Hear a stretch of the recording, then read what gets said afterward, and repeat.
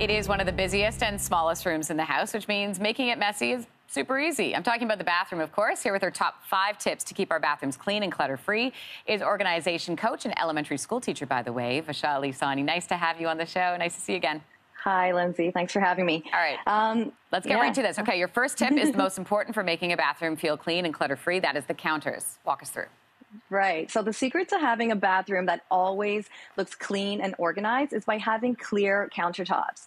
And in order to achieve this, um, you need to declutter and only keep what you actually use and need.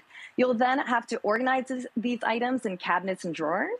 And having a clear countertop eliminates visual clutter and makes it easy to wipe down the bathroom sink and keep the space clean. Okay, what's your tip number two? I understand it's it's not only good for the environment, but for our clutter-free bathroom as well.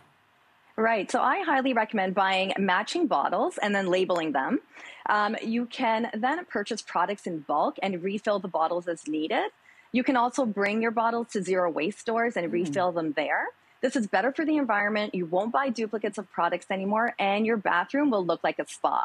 Oh, I love that. That one looks so good. Okay, next up, towels. Obviously, we need towels in our bathroom, but you've got a tip to keep them tucked away. Right. So having hooks for towels um, instead of a towel rack or a towel bar is just so much better. It makes it easier to hang the towels and they'll look so much neater. And also, it, it helps if you label the rack with the names of the family mm. members so that mm. the towels don't get mixed up, um, especially if you like to have matching towels, which will also help make the bathroom look much more organized. It certainly does. Okay, what do we do with like razors and Q tips and that type of thing?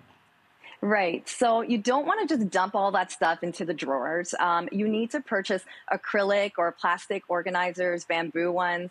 Um, and then just categorize all the items in the different compartments. And if necessary, you can even label the organizers so that everything gets returned to the correct spot. That is a okay. Can we just appreciate how much of a dream this drawer is?